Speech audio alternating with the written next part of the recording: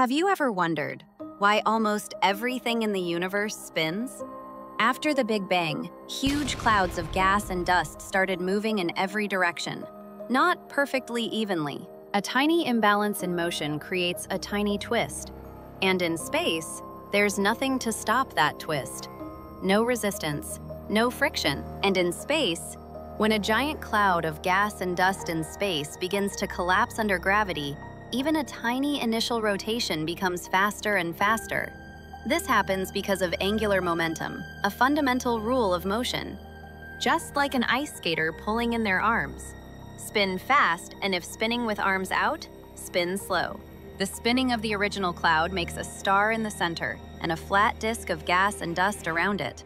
Later, planets form from this disk. They keep spinning because of momentum. That's why galaxies, stars, and planets spin. Once something starts spinning in space, it keeps spinning because nothing is there to stop it.